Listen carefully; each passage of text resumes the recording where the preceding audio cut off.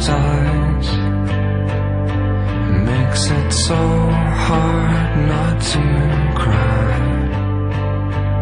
And as we say our